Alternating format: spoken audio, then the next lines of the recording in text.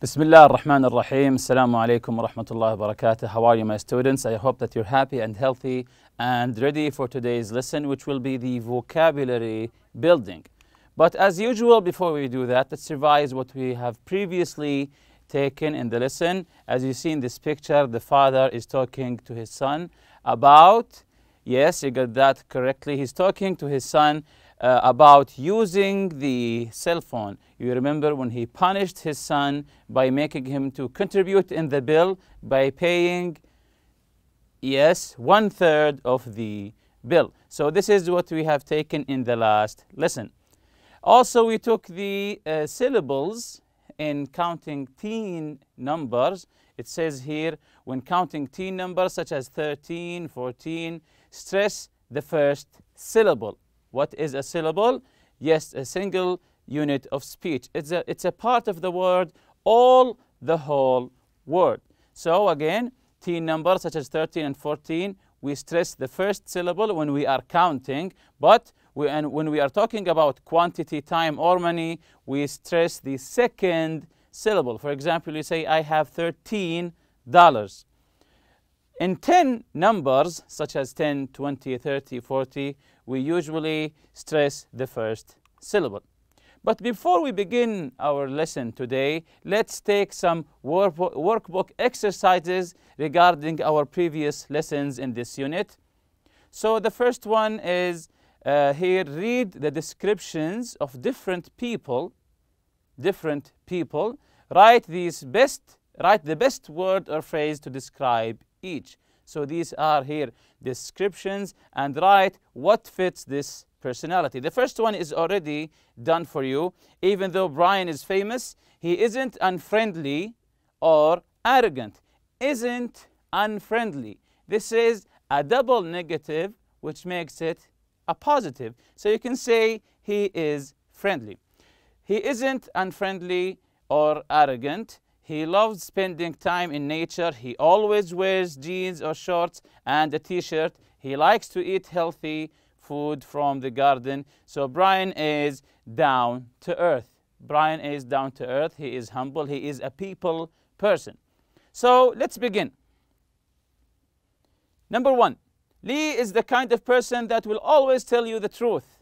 He doesn't like to play games or pretend. He never says things just to make someone feel good. He is honest and he doesn't hide anything. He always know where you stand with him. So this is Lee's personality. Lee is, what's the fitting description for Lee's personality? Is he adventurous? Is he loner, laid back? Is he spontaneous or is he straightforward? He, he says he is honest. Yes, that's correct. Lee is straightforward.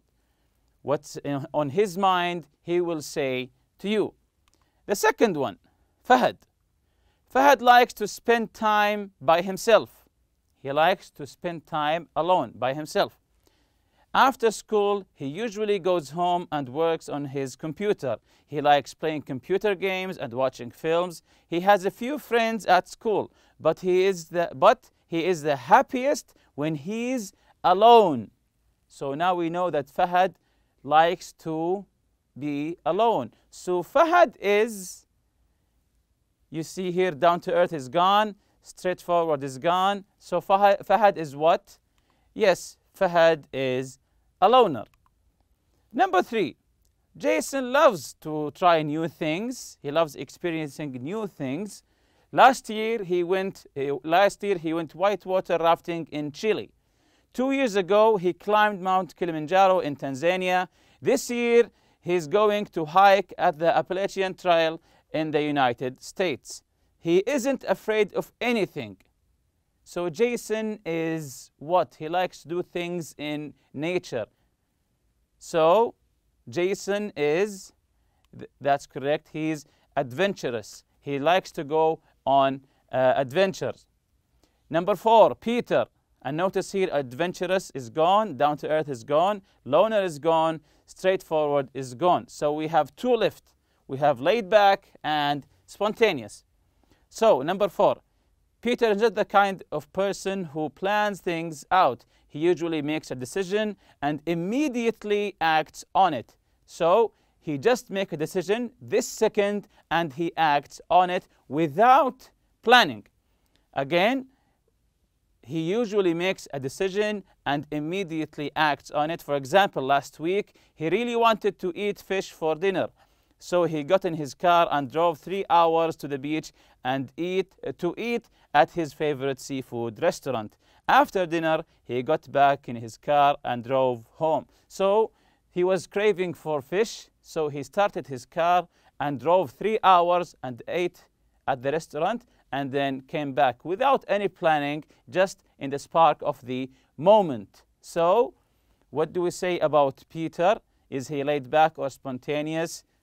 Yes, that's correct. He is spontaneous. He, uh, do, he does stuff without planning. The last one, Jake, is a casual and relaxed person. Casual and relaxed. He's usually late, but he doesn't worry about it. He is a flexible person and likes to just go with the flow. He is very easy to be around because he's always smiling and relaxed. So, Jake is very good laid back. So now we are finished with this exercise. Let's jump to the uh, other exercise B. Match the parts from the, the sentences to make proverbs. You see here we have five sentences and we have, uh, we have other five sentences. Match them to make a proverb. You see the first one is already done. The apple with E doesn't uh, fall far from the tree. The apple doesn't fall far from the tree. It means that uh, you, you will be like, uh, like one member of your family. The apple doesn't fall far, doesn't go away from the tree. So the first one, number one, silence. Silence. Is it uh, A is golden? Is it B is the best medicine? C, nothing gained. D is the best policy. Or F than never, than never. So, number one, silence. Yes, that's correct. Silence A is golden. Silence is golden. Number two, better late. Better late. Very good. It's with the letter F. You say better late than never. It means that you arrive to a place late or do a homework or a research late it's better than never doing it. It's better than never doing it. Number three, laughter. Laughter is the best med medicine. Nothing gained is the best policy. So what do, what do they say about uh, laughter? Okay, very good. Laughter with B is the best medicine. What about number four, honesty? Honesty very good with D. Honesty is the best policy. And nothing ventured goes with nothing gained. Nothing ventured, nothing gained. Or as they say, no pain, no gain. It means that if you don't do anything, if you don't uh, uh, uh, try to act on anything, nothing will happen to you. So you have to act to get what you want. This is another exercise here. See, read the sentences, tick the correct mark, then type the verb, uh, the, then type of the verb use. Look at the auxiliary verbs to help you. So we have here the auxiliary verbs, uh, simple present or past, present or past, uh, present or past or past perfect, present or past or past progressive, present or past or past passive. You see, the first one is already done for you. The internet has changed the world. The internet has changed the world. This goes in the present pa or past or past perfect because has is past perfect. So let's begin.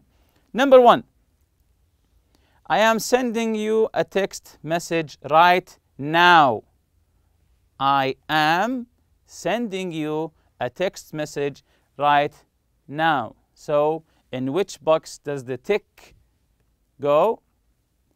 Very good. Present or past progressive. Present or past progressive. I'm sending.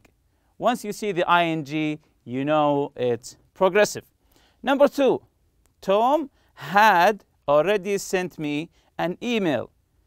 Tom had already sent me an email. What about this one?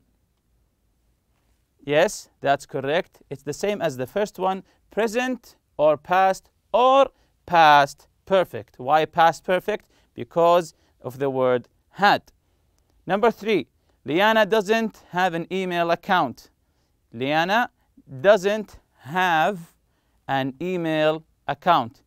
This one is, yes, very good, simple, present, or past. Simple, present, or past.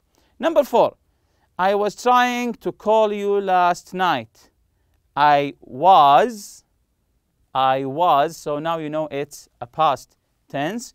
I was trying, ing, focus on the ing here, to call you last night. So, in what category here? Yes, that's correct. It's a past progressive. Past progressive. Number five, computers are used all over the world. Computers are used all over the world. What about this one? Computer is used all over the world. He didn't mention who uses the computer. So, yes, that's correct. It's passive. It's passive. Computers are used all over the world. This is a passive because he didn't mention who uses the computer. Number six, how long have you had your cell phone? This is a, yes no question, of course. How long have you had your cell phone? How long have you had had your cell phone? So this is a past perfect. Number seven, my laptop, my laptop was stolen yesterday. My laptop was, was, this is past. My laptop was stolen yesterday. Yes, that's correct. Who stole it? We don't know. My, stole, my, my laptop was stolen yesterday. The last one, uh, does uh, Sarah use messaging apps? Number eight, does Sarah use messaging apps? The last one is, of course, a simple present, a simple present. So this is the next exercise. Unscramble the questions, then match the questions and answer. So we have a scrambled question. We have to unscramble them, then answer. You can see the first one is already done for you. We have get, did, a smartphone, you. So the answer is, did you get a smartphone? It goes with the letter D. D, you say, yes, I did. So this is the example. Let's begin the first one. The internet has working been. The internet has working been. Let's unscramble it and choose whether it goes with A, no I don't, B, yes it was, C, yes I have, no I wasn't, no I'm not, no it hasn't. So let's do the first one. Very good. Has the internet been working? Has the internet, choose the first auxiliary verb. Has the internet been working? G, no, it hasn't. No, it hasn't. The second one, use, you do a fax machine ever. Very good. Do you ever use a fax machine? It's the answer A, no, I don't. Do you? No, I don't. It's the same auxiliary verb. Number three, you last night texting were me. And then, of course, the question mark. Very good, excellent. You're getting the hang of it. Were you texting me last night? Were you texting me last night? Of course, the answer is number E. No, I wasn't. What about number four? Closed the was account. Very good. We begin, always we begin with the auxiliary verb. Remember that. Was the account closed? And the answer is number B. Yes, it was. Always choose the same auxiliary verb. And we have the same thing with uh, question 5 and 6. Are you using a messaging app? Have you uh, changed your password? Uh, the letter F, no, uh, no, I'm not. And the letter C, yes, I have. So let's jump to today's lesson, which is vocabulary building. We have this exercise.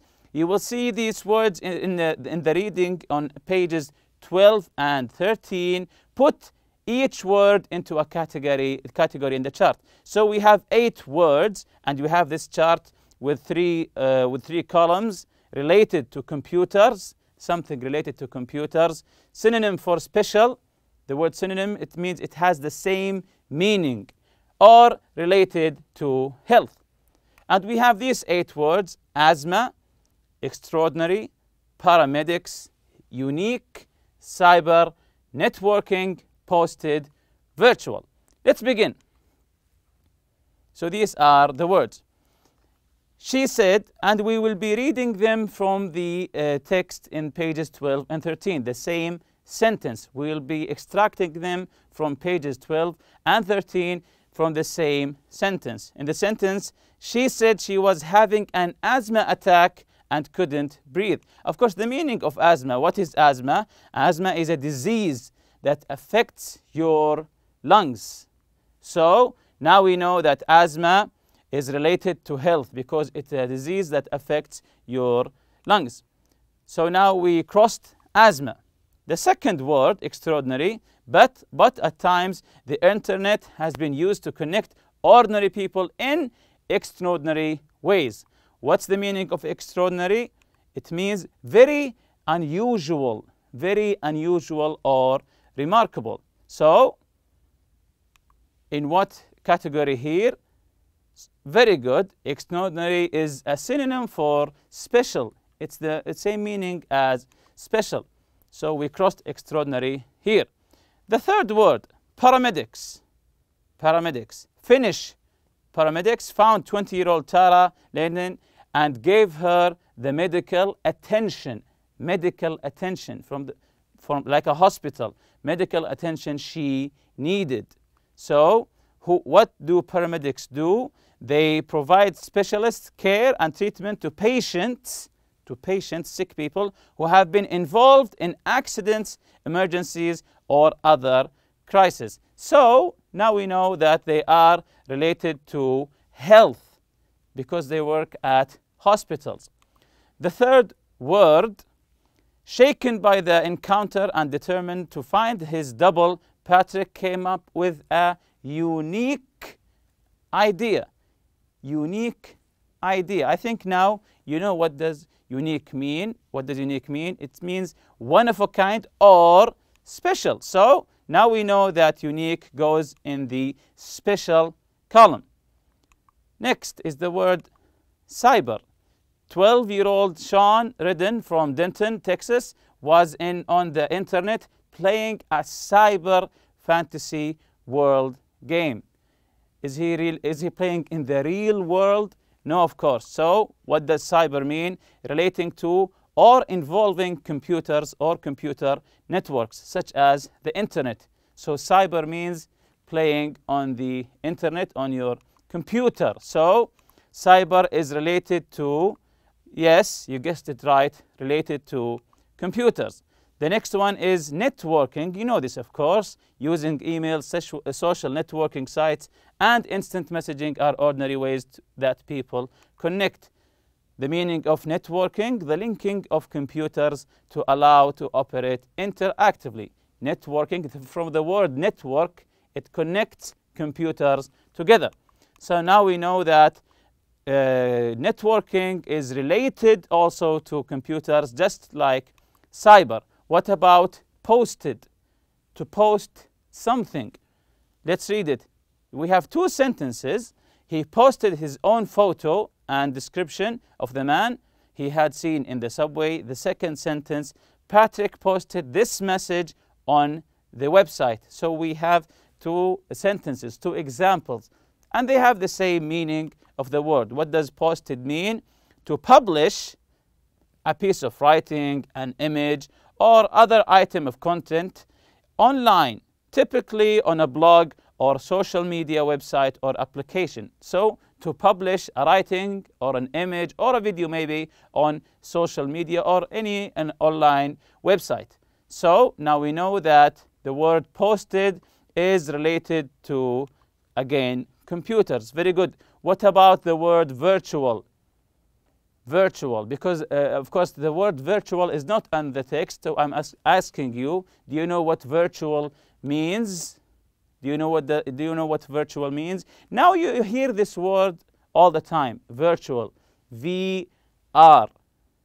Yes, virtual reality. So what does it mean? The word virtual. Not physically existing as such, but made by software to appear to do so. Virtual reality. It means not the reality itself. No, this is a made up, a virtual reality. So this one, of course, goes into the computers uh, category. Check your answers with a partner. If you don't understand the meaning of a word, look it up in the dictionary. So check and compare your answers with your friend. And if you don't know a word, don't worry, just look it up in the dictionary. And with that, we reach to the end of the lesson. See you next lesson, inshallah. سبحانك اللهم وبحمدك أشهد أن لا إله إلا أنت أستغفرك وأتوب إليك. السلام عليكم.